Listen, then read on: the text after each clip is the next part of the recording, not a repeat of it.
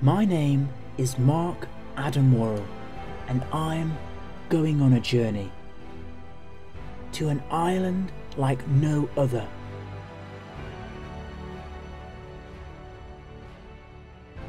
An island where history still lives, yet is shrouded in mystery.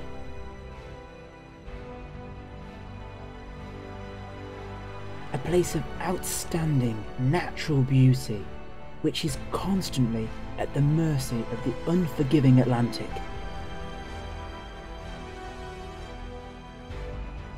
An island that is home to extraordinary people who, over the centuries, have managed to survive in this isolated corner of the British Isles.